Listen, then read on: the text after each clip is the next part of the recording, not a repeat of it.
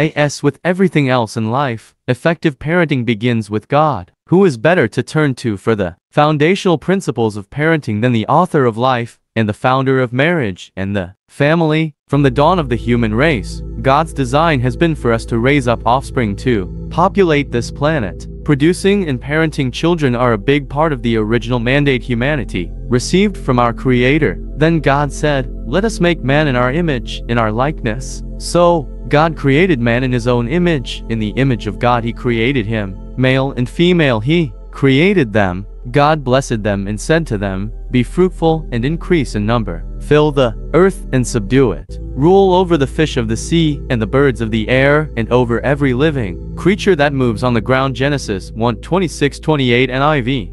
And just as God created Adam and Eve in his own image, their children would in turn bear the image of their parents. Genesis 5 verifies that Adam and Eve fulfilled this mandate faithfully, as did the generations that succeeded them. This is the written account of Adam's line. When God created man, he made him. In the likeness of God, he created them male and female and blessed them. And when they were created, he called them man.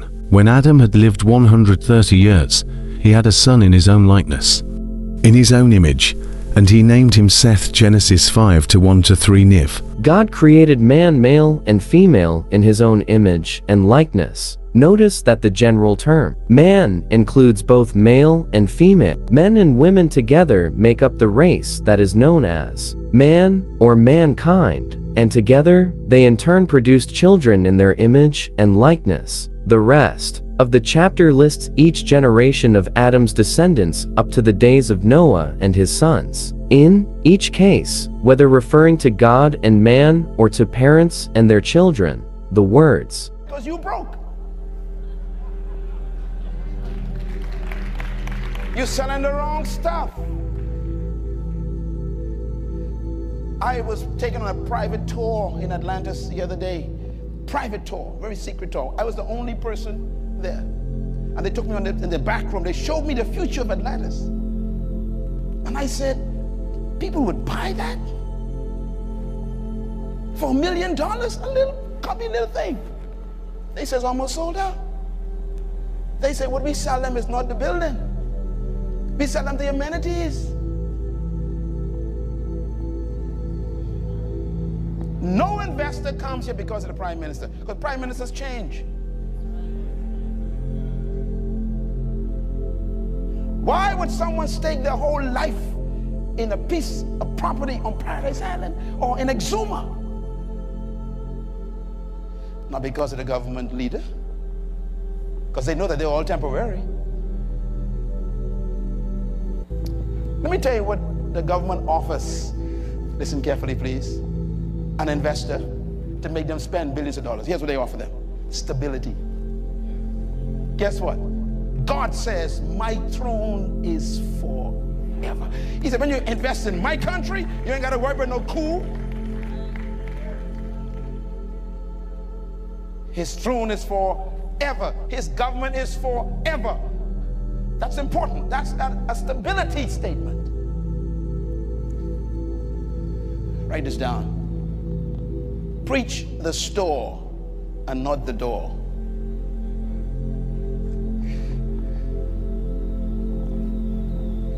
How do you enter the kingdom? We got to get this right. You want to sell dresses. You want to open a dress store. You want to sell dresses, okay? That's your decision. You want to sell dresses. So you get a storefront downtown and you put all your beautiful dresses from the manufacturer in your store. You decorate your store beautifully with all these dresses, put them in the window and everything. And then you take your 60 second ad on the radio and you spend your entire ad talking about the door. You show the door. You show the color of the door, the height of the door, the width of the door. You show them the door made of mahogany, how it has little nuts in it. You show how beautiful the door is, how heavy it is, the weight of it, the size of it, the width of it. You begin to advertise, come to my door. The door is beautiful. Wonderful is the door. The door is awesome. The door is faithful. The door is everlasting. The door is eternal. The door, the door, the door. You will go broke. Because people ain't looking for door. They're looking for dress. Have you noticed? If you want to sell shoes, you don't advertise the door of the shoe store. Here's what I found out. If you show them your merchandise, they will find the door.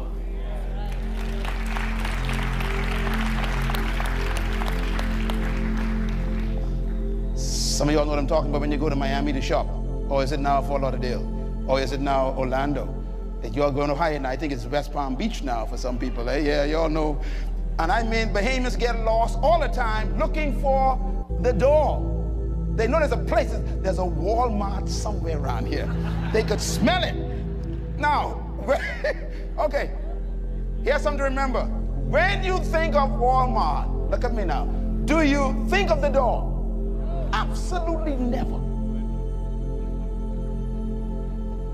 What do you think of? All the things. Ooh, there it is. And you will get lost 10 minutes, 20 minutes to find that door. Once you see the big W, it's like heaven has arrived. Jesus has come down and touched me. Woo, there's the big W. And you walk in there and your life is transformed the anointing comes upon you, you tell them, give me two cards. When you want to attract people, you don't promote the door. The goal is to promote the merchandise, not the door. The message is the country, not the border control. We preach about the border. The message of the country. Uh, the country's quality of life and the benefits attracts citizenship. Please write this down. It's very important. This helps you organize, reorganize your programs on your TV, see? It helps you readjust your radio program. It helps you readjust how you witness the people.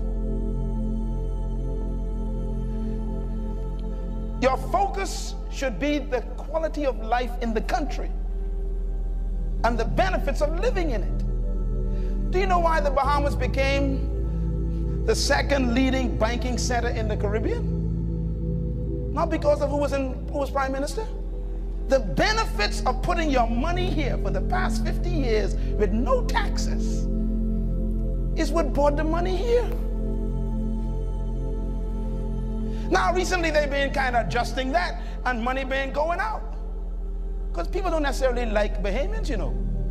They don't love you, that's why they build here. They love the environment. And that includes no taxes.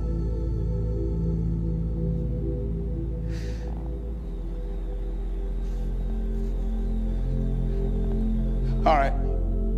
Luke 16. Jesus said, The law and the prophets have been preached until when? John. Since that time, the good news of what? The kingdom of God is being preached. Now watch this. And everyone, who? Everyone is doing what? Forcing his way to get into that country. Listen, how come the people ain't forcing their way to get into Christianity? They don't want Christianity. Because Christianity is built on a door, not a building. See, when the Muslim talks to you, they compare Muhammad with Jesus. That's why it ain't working. If you tell them, look, let's forget Jesus, what's the benefit of Islam? You sick, you depressed, you poor, you can't find something to eat, you worshiping cows. Come on, let's talk about, let's not talk about Hinduism. So let's talk about uh, Maharaj Baha'u'llah. Let's talk about the benefits. In our country, we eat cows. In your country, you worship cows. You starving, we fat. Let's talk about the benefits. Hinduism, eh? Some of the wrong thing, see? People really are not looking for Jesus. You keep telling them they are. They're not. They're looking for things. They're looking for a good life. Oh, listen to me. Now, let me, let me tell you why I want to talk about the Bahamas in America. The Bahamas has one of the most difficult problems in the region. More people are trying to come from other countries to the Bahamas. Our number one issue socially is immigration. You all think, think for this. Why? Because somebody told them, if you can just get there. So they come by boats. They come by swimming. They put barrels with styrofoam and put a little rope on it. We gotta get. They're trying everything just to get on any land that's called the Bahamas. Once they get there, they say, "Ooh," huh. and they start building little houses on the land. Why? Because someone told them the land, the opportunities, the benefits. If you just get there, your life will change. They don't care who the prime minister is. If we want to find the perfect parenting model, we need look no further than the relationship between God the Father and God the Son. Jesus was just like his Father because they were of the same essence. In every way, Jesus was the perfect representation of his Father. He even told his disciples plainly, Anyone who has seen me has seen the Father. John 14 to 9 NIV.